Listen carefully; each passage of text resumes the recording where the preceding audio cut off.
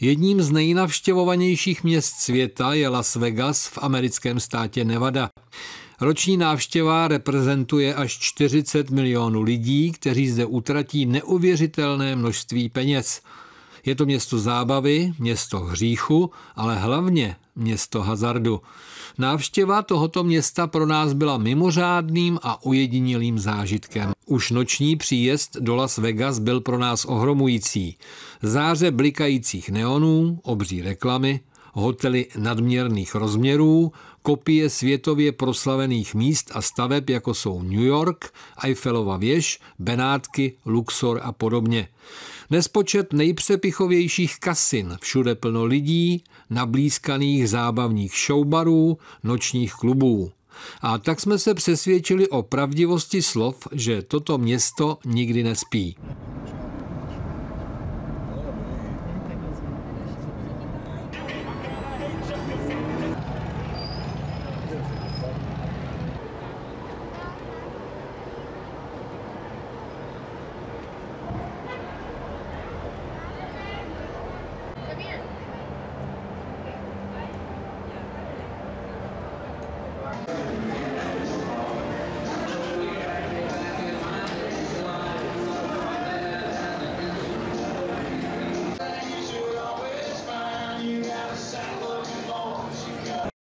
Za denního světla je Las Vegas poloviční. Není nudné ani obyčejné, ale to, co vnímáme za tmy, se ve dne úplně změní. Každý hotelový komplex je obrovský, nedá se přehlédnout, je to jako jiný svět. Se západem slunce se začíná město probouzet. Otevírá se většina restaurací a barů, plní se kasína a začínají vystoupení v jednotlivých hotelech. Každý větší hotel má svou kulturní perlu a mnohé jsou známé po celém světě. Například kouzelnická vystoupení Davida Copperfielda, koncerty Prince nebo Cher, velmi oblíbené je pořádání světových kulturních a sportovních akcí. Další neopominutelnou návštěvou jsou kasína. Jsou to desítky stolů s blackjackem, ruletou a kostkami a dalšími desítkami automatů. Na jižním okraji města je tabule Welcome to Fabulous Las Vegas, kterou jsme si taky natočili. Je to světoznámý poutač.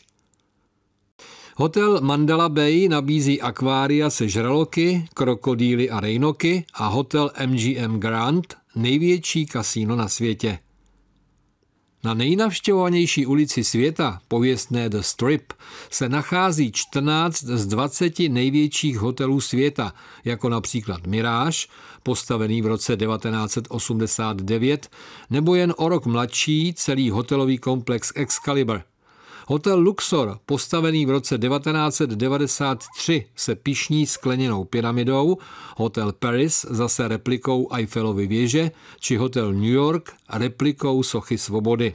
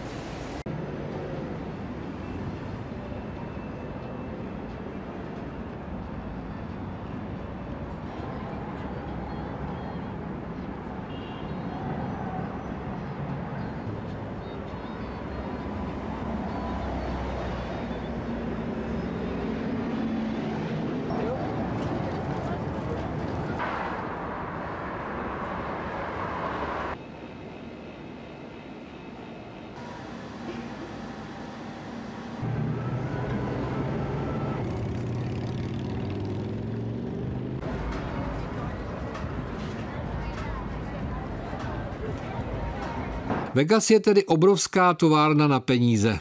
Město má zájem, abyste si užívali, dává vám příležitost, jak si užít, ale chce zpět peníze do své kasy. Všechno tady funguje s jediným cílem – pobavit lidi a vydělat na tom.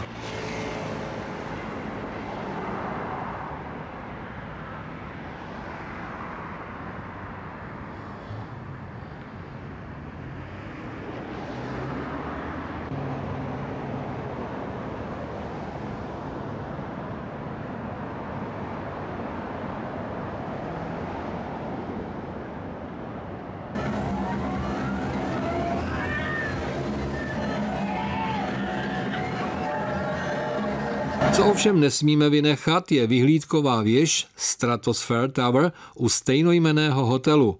Mimochodem, víte, co je to X-Scream?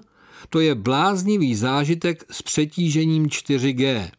Čeká vás odstředivý kolotoč nebo vystřelení do prostoru, to všechno na věži více než 300 metrů nad zemí s vyhlídkou na celé Vegas.